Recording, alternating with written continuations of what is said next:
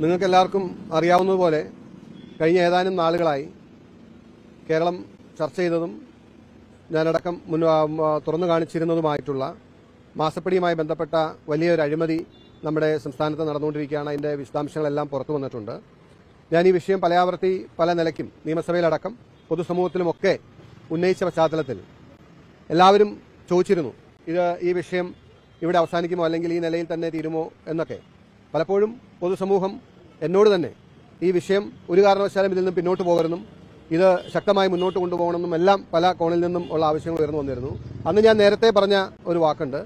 ഞാൻ കേവലം ഒരു പുകമറ സൃഷ്ടിക്കുന്നതിനോ കേവലം ഒരു ആരോപണം ഉന്നയിക്കുന്നതിനോ അല്ലെങ്കിൽ കേവലം ഒരു മാധ്യമ ശ്രദ്ധ കിട്ടുന്നതിനോ വേണ്ടിയിട്ട് ഒരു വിഷയം ഏറ്റെടുത്തല്ല ഈ വിഷയത്തിന്റെ ഈ വിഷയത്തിലെ പ്രഥമ ദൃഷ്ടിയ വളരെ കൺവിൻസിംഗ് ആയിട്ടുള്ള എവിഡൻസ് ക്ലിഞ്ചിങ് ആയിട്ടുള്ള എവിഡൻസ് നിലവിലുള്ളതുകൊണ്ടുകൂടിയാണ് ഞാൻ ഈ വിഷയം പൊതുസമൂഹത്തിൽ അത്ര ആധികാരികമായി ഉയർത്തിയതും ചോദ്യങ്ങൾ ഉന്നയിച്ചതും. എന്നാൽ ഇന്നുവരെ ചോദിച്ച ചോദ്യങ്ങൾക്കോ അല്ലെങ്കിൽ എനിക്കോ അല്ലെങ്കിൽ പൊതുസമൂഹത്തിനോ സംശയം ദൂരീകരിക്കാൻ കഴിയുന്ന രീതിയിൽ ഒരു നിലയ്ക്കുള്ള മറുപടിയും മുഖ്യമന്ത്രിയുടെ ഭാഗത്തുനിന്നോ ബന്ധപ്പെട്ടവരുടെ ഭാഗത്തുനിന്നോ ഇല്ലാത്തതിന്റെ പശ്ചാത്തലത്തിൽ ഏറ്റവും ഒടുവിൽ പി വി എന്ന പരാമർശം ഞാനല്ല എന്നുവരെ പറഞ്ഞ് ഒളിച്ചോടുന്ന ഒരു നിലയിലെത്തിയപ്പോൾ ഇനി ഇതിന്റെ രണ്ടാം ഘട്ട പോരാട്ടം ആരംഭിക്കുകയാണ്.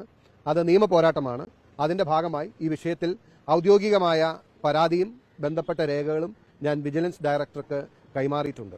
ബാക്കി പിന്നാലെ യെസ് ഈ വിഷയവുമായി ബന്ധപ്പെട്ട വിജിലൻസ് അന്വേഷണം ആവശ്യമുണ്ട്. അതിനനുബന്ധമായ തെളിവുകളും രേഖകളും കൈമാറി ഔദ്യോഗികമായി ആവശ്യമുന്നയിച്ചു. യെസ് പരാതിയിൽ എല്ലാ എല്ലാ കണ്ടന്റ്സും പരാതിയിലുണ്ട്.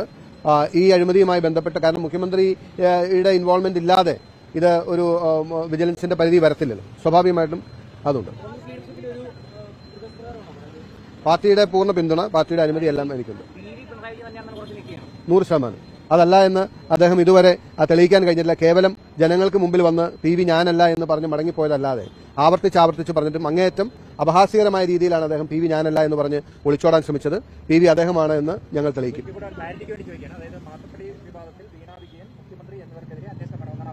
അല്ല മാസപ്പടി വിവാഹമായി ബന്ധപ്പെട്ട അഴിമതിയിൽ വളരെ കൺവിൻസിംഗ് ആയിട്ടുള്ള തെളിവുകൾ എവിഡൻസുകൾ പുറത്തു വന്നിട്ടുള്ള സാഹചര്യത്തിൽ ആ തെളിവുകളുടെ അടിസ്ഥാനത്തിൽ വിജിലൻസ് അഴിമതി നിരോധന നിയമപ്രകാരം ഈ ഒരു കേസ് രജിസ്റ്റർ ചെയ്ത് അന്വേഷണം നടത്തണമെന്നാണ് ആവശ്യം.